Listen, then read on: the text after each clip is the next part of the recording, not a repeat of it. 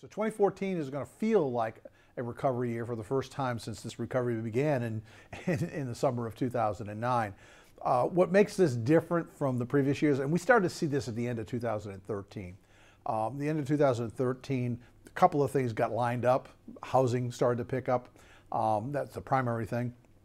Uh, the Fed program of buying $85 billion of long-term bonds, particularly mortgage securities, a month, uh, that was really starting to take hold in the economy. So the second half of 2013, we started to see this take place. We started to see the economy grow at a little bit faster pace.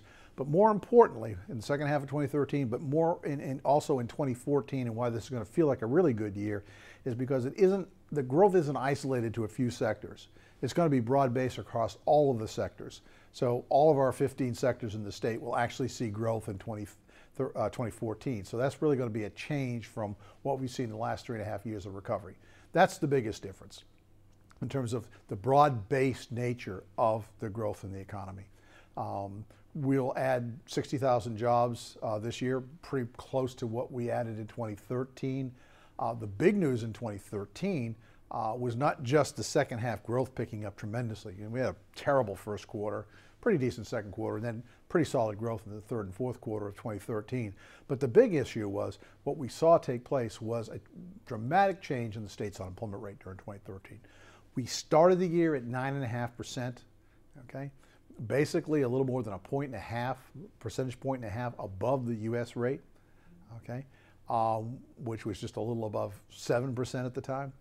Both rates have come down, but the big increase or the big decline has been in the North Carolina rate, so that at the end of the year, when the U.S. rate's now down to 6.7%, which is pretty low, uh, given where we've been for the last five years, mm-hmm.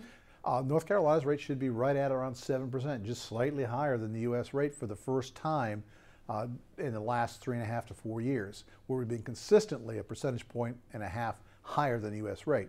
The other second thing that occurred as a result of our unemployment rate coming down dramatically during 2013 was that we also went from in the middle of the year being the first, the third highest state unemployment rate in the country. Mm-hmm. Only two states that had worse unemployment rates than we did in, uh, in July of 2013. And now we're like 15th worst. Uh, and probably sometime in 2014 we'll be in the middle of the pack. Um, as we expect unemployment rates to continue to come down. U.S. rate probably another percentage point or more during 2014. Same thing with the North Carolina rate. So we could be in the low 6% range or maybe even the high 5% range by the end of 2014. Uh, if everything turns out the way we expect it to turn out. So that's been the really big difference. And I think people are a little caught off guard by that. I think that a lot of folks are thinking that somehow or other this unemployment rate is primarily caused by dropping out of the labor force by discouraged workers, and that's not the case at all. Uh, yes, we've had people leave the labor force, but it's not because of discouraged worker syndrome. It's primarily because of baby boomers retiring. That's been the fundamental, for the last two years, that's been the fundamental cause of the decline in the labor force participation rate and people dropping out of the labor force. Uh, and as a result of that, um, you know, that's part of why the unemployment rate's gone down, but it's for a completely different reason than some kind of thought that there's a weak economy that's not job producing or something along those lines. Really not the case. It's just simply, here come the baby boomers. 76 million baby boomers are now starting to retire. The oldest ones are 67 years old. Um, the bulk of them are in their late 50s and early 60s. And as we, this is something we're going to be living with for the next 10 to 15 years, uh, the big impact that baby boomers are going to, their retirement is going to have on labor markets. So, you know, that's part of what's been going on here.